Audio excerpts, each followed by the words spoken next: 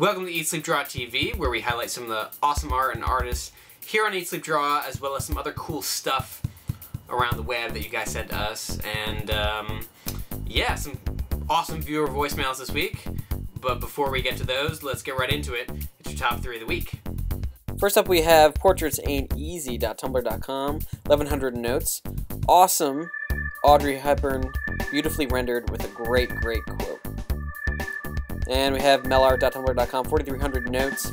It's a really cool, I don't know if it's smoke coming out of her mouth, but um, there's someone surfing. Really cool. And finally, twistedkaraoke.blogspot.com, 4500 notes.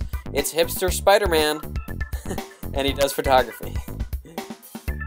Uh, Eat, Sleep, Draw, best thing I've seen in a long time. There are a lot of um, art blogs out there and whatnots, but uh, this one's probably got to be the one of the best. I love you guys so much.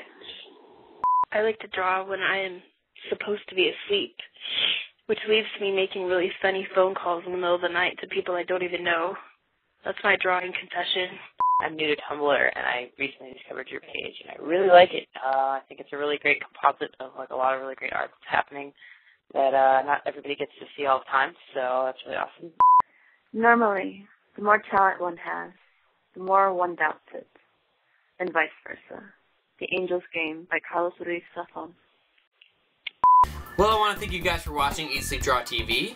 And um, if you guys uh, like what you see, um, make sure to subscribe. You can subscribe right there. I believe there's a little button.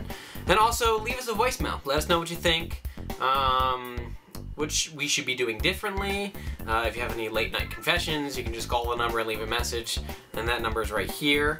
Um, and if you missed our interview with um, Orphan Elliot, you can click here and uh, go check that out. Um, so until next week, thanks a lot. We'll see you.